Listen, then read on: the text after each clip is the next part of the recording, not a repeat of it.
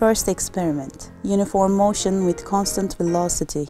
First, place the data carbon sheet and the data sheet on the air table.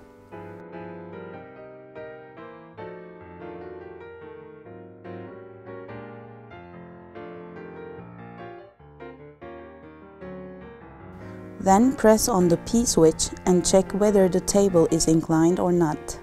Set the air table parallel to the ground by using its supports. Put one of the pucks in a corner to prevent its motion.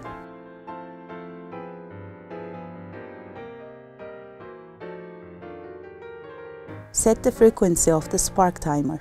Keep the other puck fixed and press on the P switch. Then launch the puck with a moderate velocity while simultaneously pressing on the S switch. Now you can analyze the datasheet.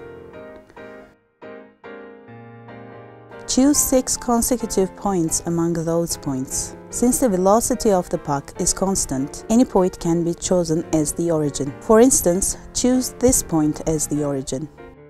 Name the interval between the zeroth and the first points as x1 coordinate, between the zeroth and the second points as x2 coordinate, and determine other coordinates accordingly. Frequency gives you the time elapsed between two consecutive points.